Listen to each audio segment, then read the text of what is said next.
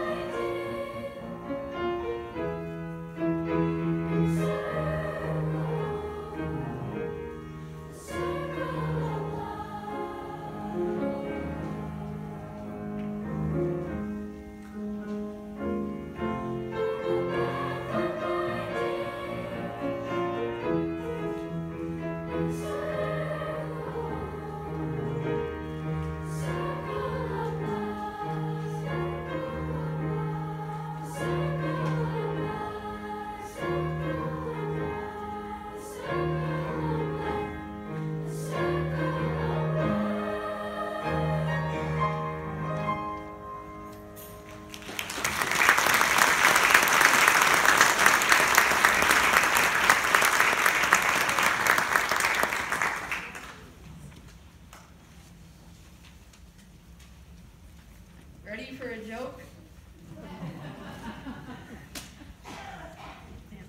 what did Simba say to his dad when he was walking too slow? Mufasa! Hakuna Matata was sung by the carefree duo Timon and Pumbaa.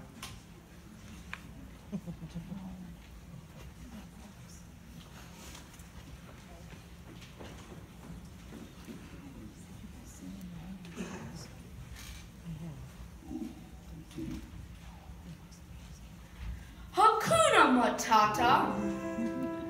What a wonderful phrase. Hakuna Matata.